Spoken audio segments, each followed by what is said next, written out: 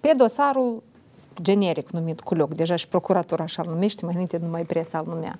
Uh, astăzi, uh, soția lui Igor uh, Dodon a fost citată la procuratură pentru a fi înaintată învinuirea. Puteți să ne spuneți un pic mai multe despre ce este vorba? Bine, Cineau este implicată în sunt, acest dosar, sunt, nu? Sunt măsuri uh-huh. care sunt gestionate de procurori. Noi oferim suportul necesar procuraturii. Cunoașteți bine că e vorba de patru capete de acuzare. Da, pe, pe cazul lui Igor Dodon. Da, nemijlocit față de el a fost da. inițiată um, cauza penală, dar sunt patru capete de acuzare. Uh-huh.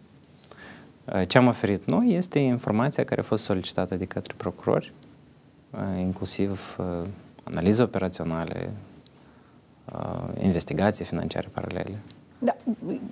Doamna Galina Dodon, ce a făcut? Bun, sunt măsuri active, nu pot să intru în detalii cu privire la ele.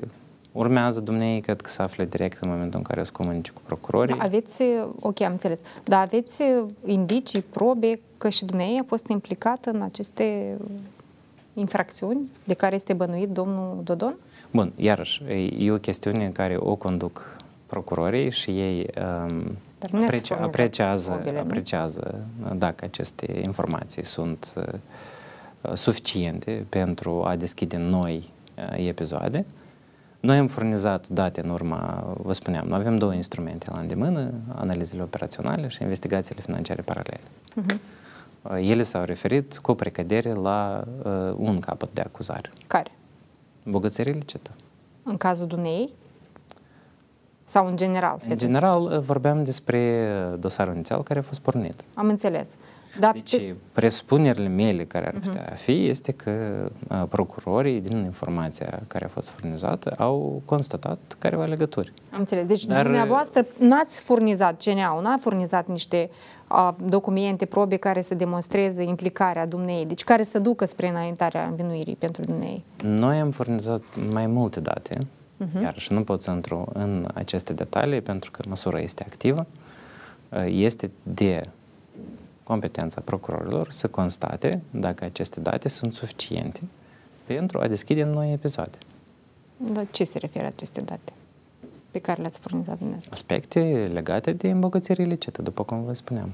Și ați calculat care este volumul, deci îmbogățire ilicită presupunând ce? La general vorbind, vorbim, vorbim despre active financiare în diverse imobile, care au fost stabilite inclusiv prin persoane interpuse. Uh-huh. E vorba de un volum mare, valoarea lor? Vorba de zeci de milioane? Cât? Considerabilă. Consider... Deci cifre...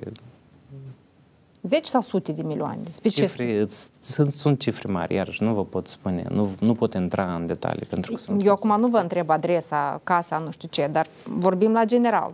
Am găsit bunuri care valorează în total circa, nu știu, 50-100 de milioane de lei. Spre exemplu, puteți să ne dați o cifră aproximativă la cât au fost evaluate Sunt acestea? date care vorbesc de cel puțin ordinul 10 de milioane.